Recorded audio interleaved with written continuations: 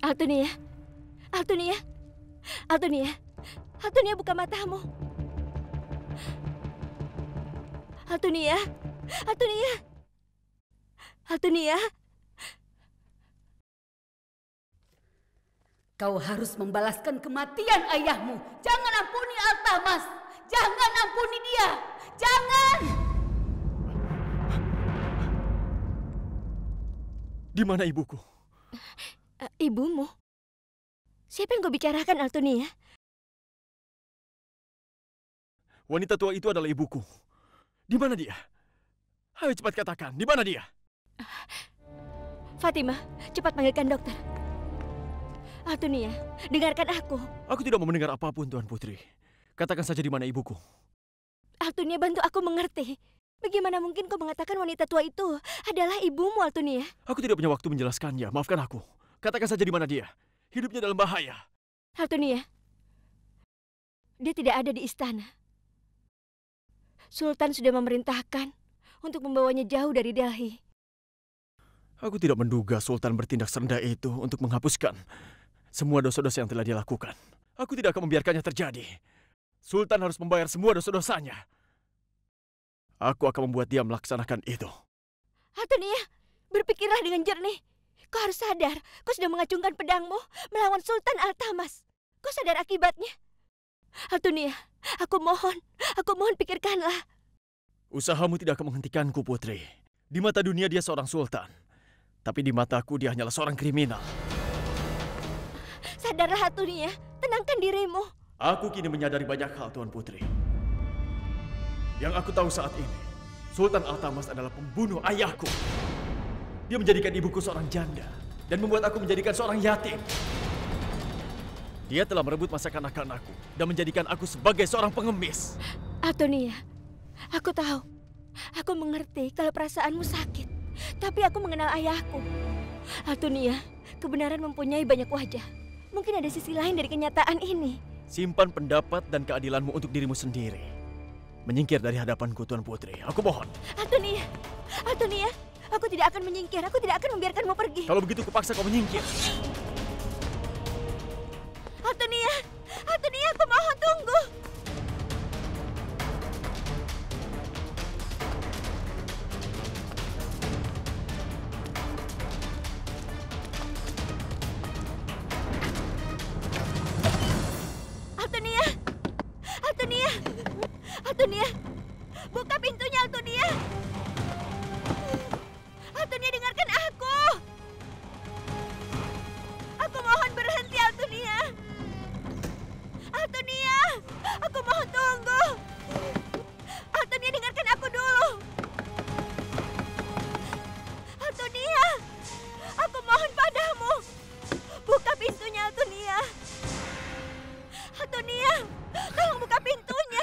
Mirsa sudah pergi untuk melakukan kebaikan. Buka pintunya Altunia. Kau sebaiknya tidak usah ikut campur, Putri. Dengarkan Buat aku saja dulu. dirimu nyaman dan beristirahat di dalam sana. Altunia, Biarkan Mirza pergi dengan keinginan membunuhnya. Altunia. Sultan Altamas! Di mana kau bersembunyi? Tidak akan ada yang menyelamatkanmu hari ini. Altunia. Altunia demi Tuhan jangan lakukan itu. Altunia. Altunia.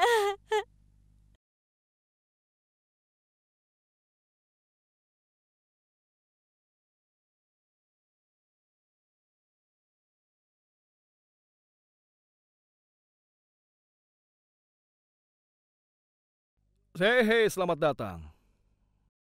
Aku memang sedang menunggumu. Tolong biarkan aku masuk. Ah, kau tidak bisa pergi sayangku. Kekacauan akan terjadi di sana. Kau tahu Mirza telah pergi membawa pedang. Aku rasa hari ini dia akan membebaskan Delhi. Membebaskan Delhi dari tirani Sultan Al-Tamas. Dan dia akan segera menghancurkan kesultanan hari ini. Dia pasti akan menggal kepala Sultan Al-Tamas. Dan itu pun sudah pantas. Merupakan hukuman untuk Sultan.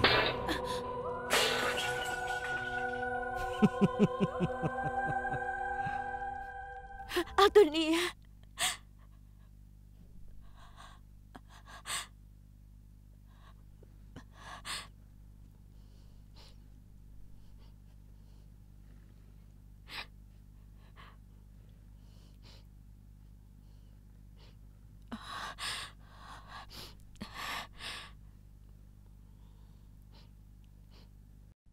Bagaimanapun juga aku harus menghentikannya.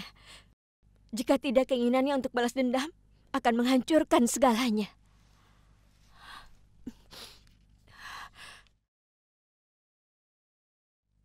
Altunia! Altunia! Altunia buka pintunya! Altunia!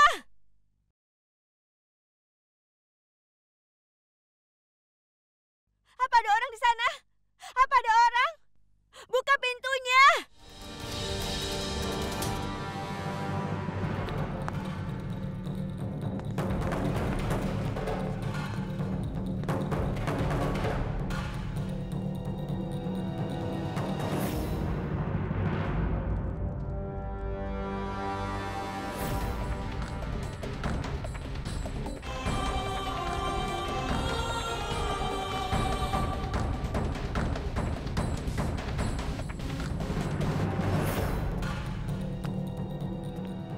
Dinding ini bukan dinding biasa.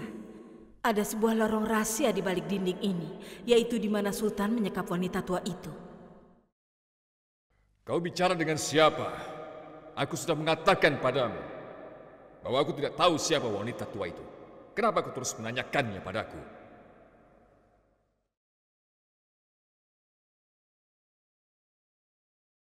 Aku memanggilmu anakku karena aku ibumu. Kau anakku. Aku ibumu yang malang. Kutubuddin Aibak adalah sultan pada saat itu. Seseorang menjebaknya dan dia menjadi musuh ayahmu. Ayahmu sangat mempercayai Altamas. Tapi Altamas mengkhianati kita. Dia telah berkhianat. Dia membunuh ayahmu dengan cara yang sangat kejam. Dia tidak ingin seseorang mengetahui rahasianya. Itulah kenapa dia ingin aku mati juga. Kau harus membalas kematian ayahmu. Jangan ampuni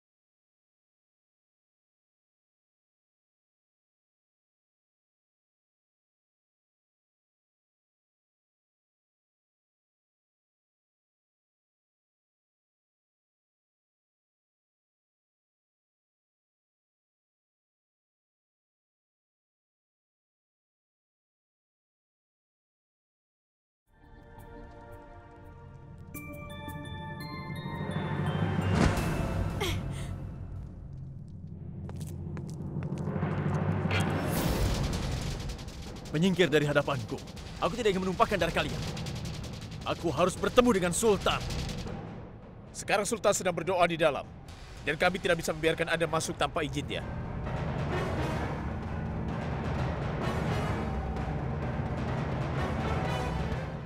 Siapa pun yang berani menghentikanku bertemu dengan Sultan akan kehilangan nyawanya.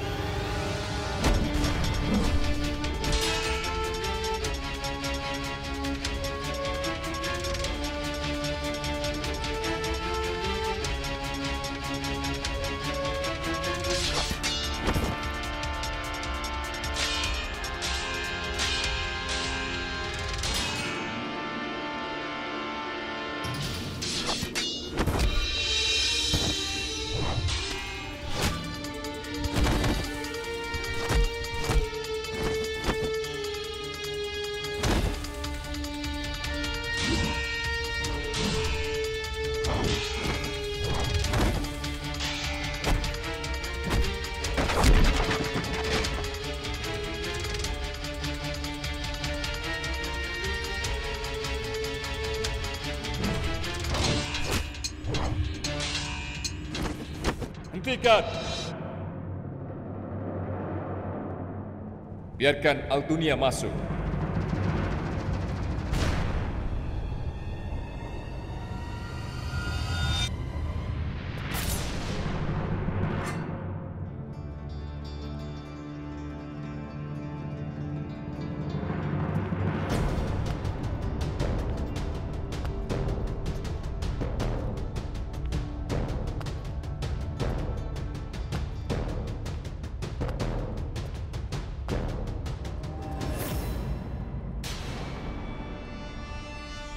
Maafkan aku, Altunia. Sebenarnya, tadi aku sedang berdoa. Jadi mungkin karena itulah para penjaga berusaha menahanmu. Saat ini aku mendoakan keselamatanmu juga, Razia. Kenapa kau tidak bilang saja? Kalau kau sedang berdoa agar aku mengampuni nyawamu saat ini.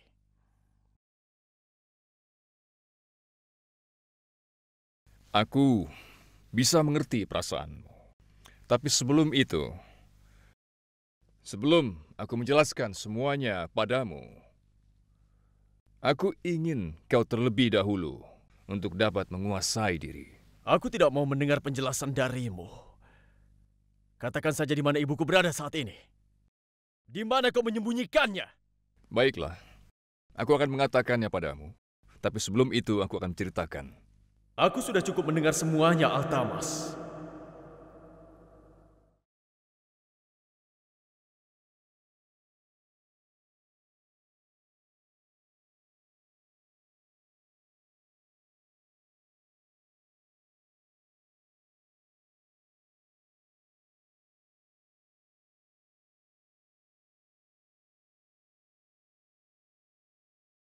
Kini giliran pedangku yang berbicara.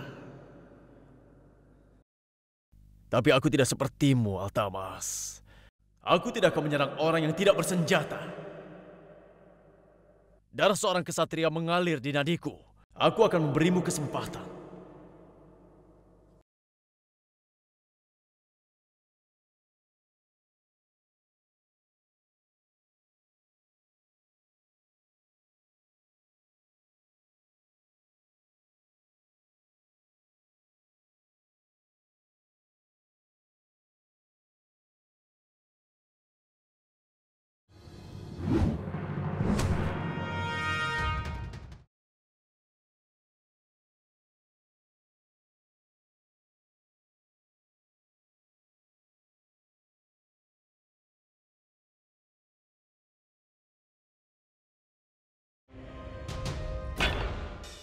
Ambil pedangmu, Sultan.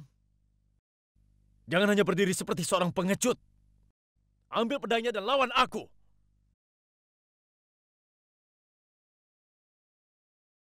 Jika darahku yang kau inginkan, maka penggalah saja kepalaku. Balaskan kematian ayahmu. Semoga itu bisa membuatmu puas.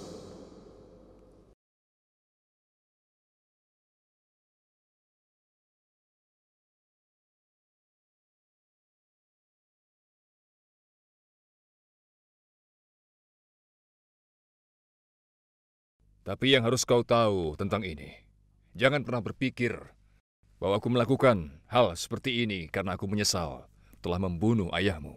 Aku tidak mengharapkan hal lain darimu, Sultan.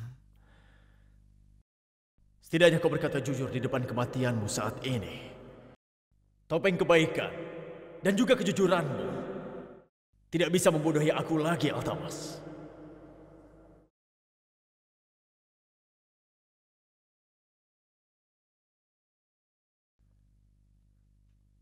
Jangan pernah kau berpikir bahwa kebohongan yang kau lakukan ini akan membuatku berubah pikiran.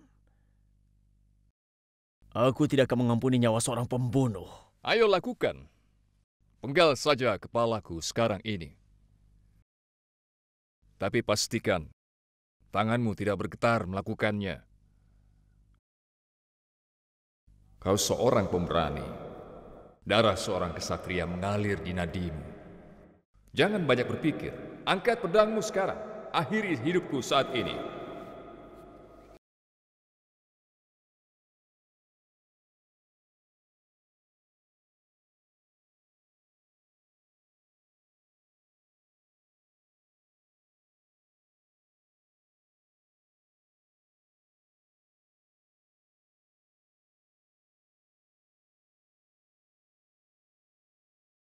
Jangan ampuni dia.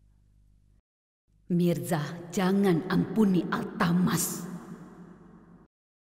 Demi keluargamu dan juga ibumu, bunuh Altamas. Dia menghancurkan kehidupan kita sekeluarga.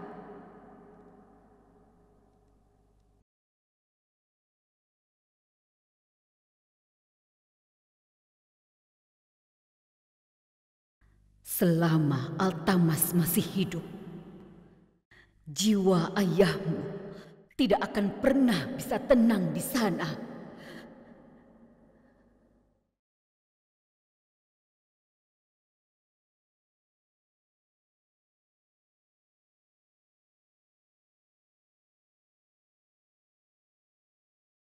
Habisi dia Mirza. Jangan beri ampun laki-laki jahat itu. Habisi dia. Jangan pernah memberi ampunan pada laki-laki jahat itu. Bunuh dia. Habisi.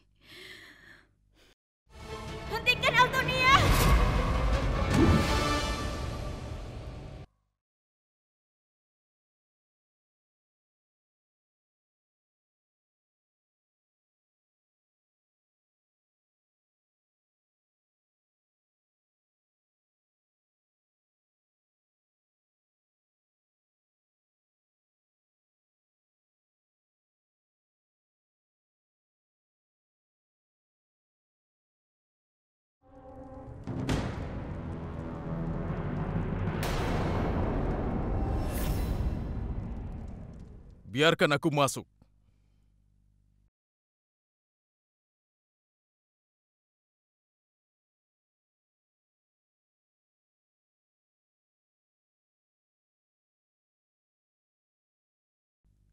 Kau. Kenapa kau datang kemari? Aku datang untuk membebaskanmu. Aku datang kemari untuk membawamu pada anakmu.